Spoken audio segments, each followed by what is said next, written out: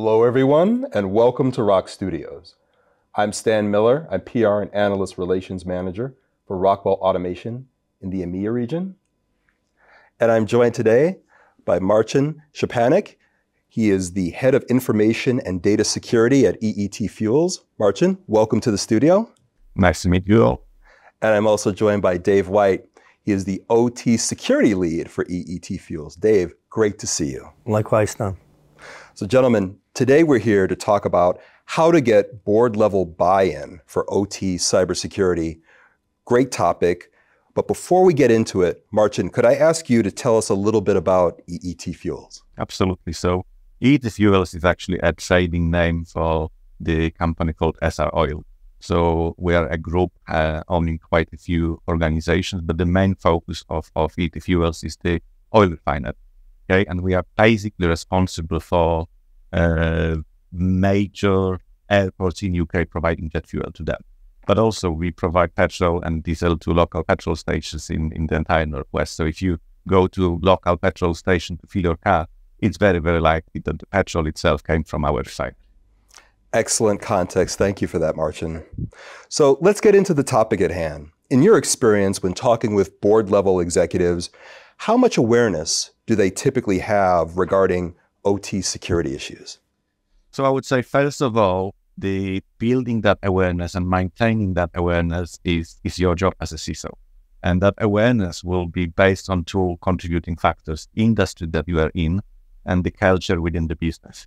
So we are in the industry of oil refining and oil refineries tend to be a little bit behind in the OT security. And that's not because we don't really want to invest in that way. It's because the complexity of all the changes that we need to deliver in order to achieve that. So from my past experience from automotive industry, for example, it's relatively easier to perform those changes in the automotive industry than it is in the oil refinery. Another key uh, aspect here is the organization culture. Organization culture is based on your board. So you need to look at your board members, who they are, what they're interested in, and find a way of getting them engaged in your discussions. So from my experience, what I what I have uh, tried to accomplish is have a good relationship with CIO because they are playing key part in any technological advancement of your organization, but don't be fully guided by them on everything. Because as far as IT is concerned, quite modern and quite attractive, OT is not always as attractive. Another key stakeholder would be chief operating officers. They are usually concerned about safety and efficiency of your operations. So they will be interested in you making progress in that space. Uh, and two other key stakeholders that you know the, the awareness depends on is your risk officer or assurance officers. They are concerned about your compliance, you know, risk management. Are you following all the rules? So you need to convince them to be with you on that journey. And finally, probably the most challenging one is the chief financial officer. So they give you the budget. And as far as they are concerned, they can usually tell that the hardware used on your operational layer has been used for 30 years and it was fine. So where is the urgency to invest now? So you need to get them on that jet. That's a really interesting breakdown of the different personas uh, that you need to engage with. I'd love to follow that up with I mean, what have you found is the best way to begin these discussions with them on this topic? So, when you are a CISO for any organization, the, the main challenge you have is that you hardly ever have time to actually present yourself to the board. So you need to be wise in how you use that time. So in order for them to commit to your project or your your way of thinking, you need to demonstrate that you invested your own time into that project. So what I have been doing over the last few years is engaging with regulators, uh, several government agencies, giving me that intelligence of what's happening within the industry. Uh, I've been engaging with various cybersecurity communities again to gather that intelligence, what others are doing, what can possibly go wrong, what is required to change that posture of your organization. Once you gain that intelligence, you then need to convert it in a format that board members would understand. Because the last thing they want to do is learn another format from you. They don't really have time for that. And the most important thing is keep it consistent. So things don't change overnight. Your situation as it is today, it's likely to be very similar the month after. So you take them on that journey and you give them that idea of how long that journey will take, but it's not going to change overnight. Uh, that sets me up great for my for my next question. And the, how long would you say it typically takes to start using OT security functions once these conversations have taken place? So this question is probably based on the other two, to be honest, because based on the assumption that you've established that awareness, based on the assumption that you have that relationship with all the key stakeholders, it can take between two to three years to actually create the OT security function in your business. And that takes a lot of effort, a lot of planning, but also persuading your senior stakeholders that this is worth doing. And one challenge that I find uh, generally across various industries is the consistency.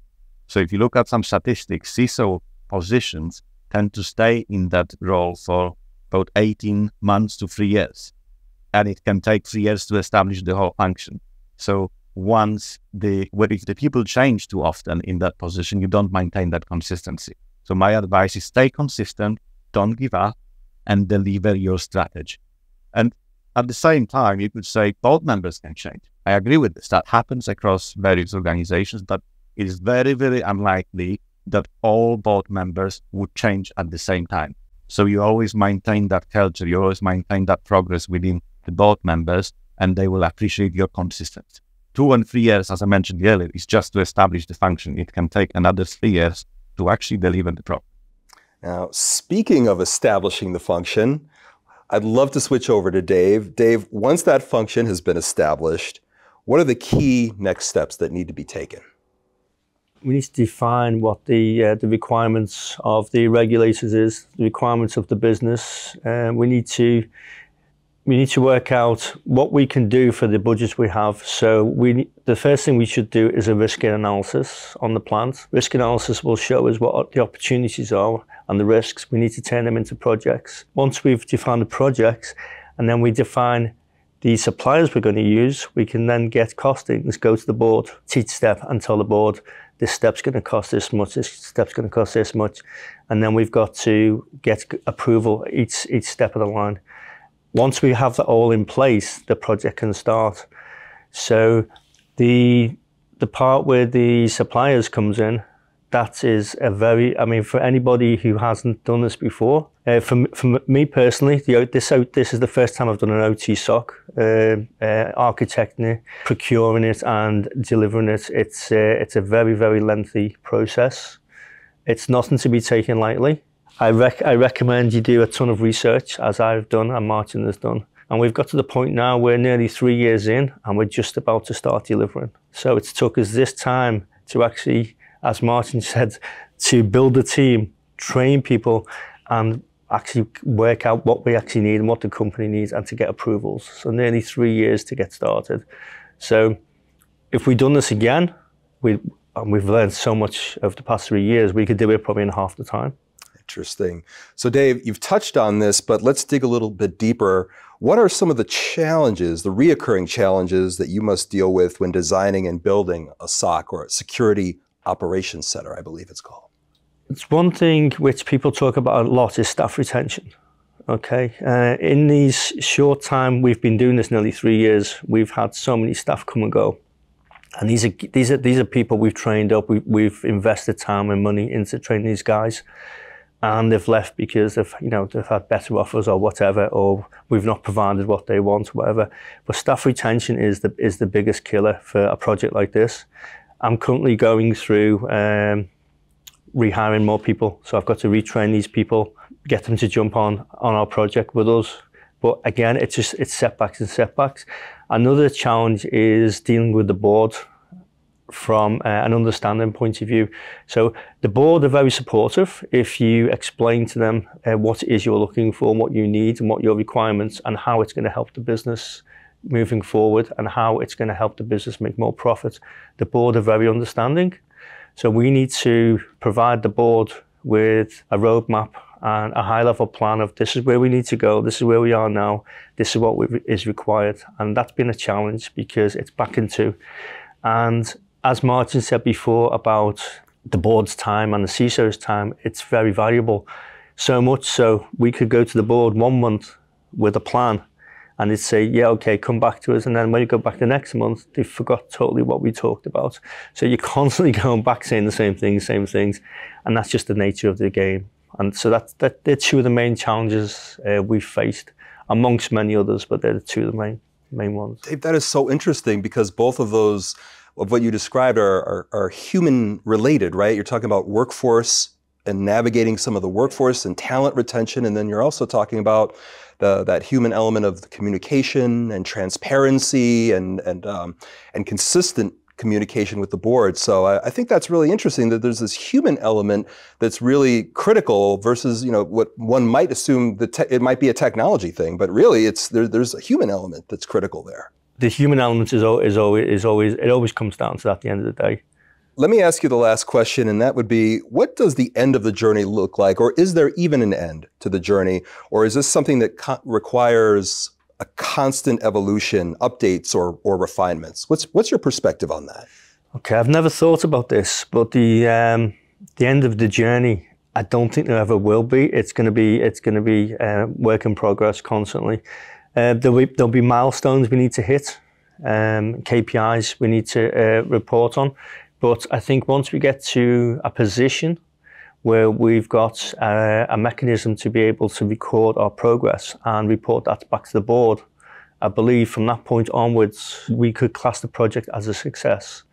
So that might be a year, a year and a half into the project. But once we, we, we start give, uh, providing these deliverables to the board and the board can see we're actually doing something, I believe we will gain more support and it'll just be an ongoing, ongoing cycle. Fantastic. Martin, Dave, thank you so much for sharing your perspective, your expertise, and your knowledge on, on your journey uh, in your OT security and building out OT security. It's been a really enlightening discussion. So thank you both for joining us in the studio today. Thank you, Stan. Thanks for having us. Thank you. And thank you for watching. If you'd like to learn more about industrial automation, digital transformation, and cybersecurity, visit rockwellautomation.com.